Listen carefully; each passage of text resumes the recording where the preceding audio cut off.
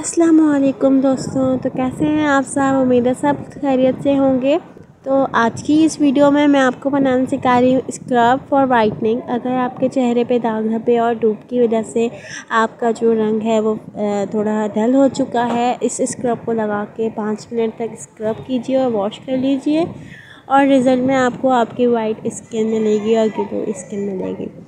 इनमें जितनी भी चीज़ें यूज़ होंगी, वो सब हर्बल शॉप से मैंने बाय की हैं तो आइए इसको बनाना स्टार्ट करते हैं।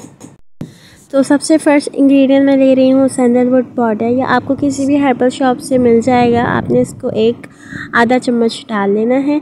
उसके बाद नेक्स्ट इंग्रेडिएंट मैं इसमें ले रही हूँ बेसन। इन दोनों चीज़ों को अच्छी तरह मिक्स करना है और दोनों चीज़ों को हाफ़ हाफ़ स्पून लिया है और मिक्स कर लीजिए।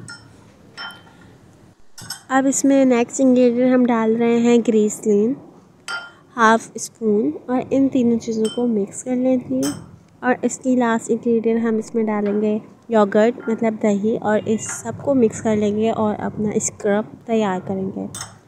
हमारा स्क्रब बिल्कुल रेडी है। अब आपने इसको क्या करना है?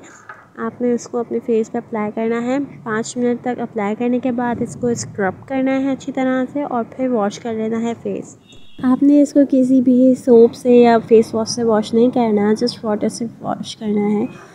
तो ये अब जब आप लगाएँगे और इसके रिज़ल्ट में आपको आपकी वाइट स्किन मिल जाएगी और ग्लो स्किन मिल जाएगी तो वीडियो उम्मीद पसंद आई होगी। और अगर पसंद आई है तो मुझे लाइक कर दीजिएगा। और मिलते हैं दूसरी वीडियो में, जब तक के लिए अल्लाह हाफिज़।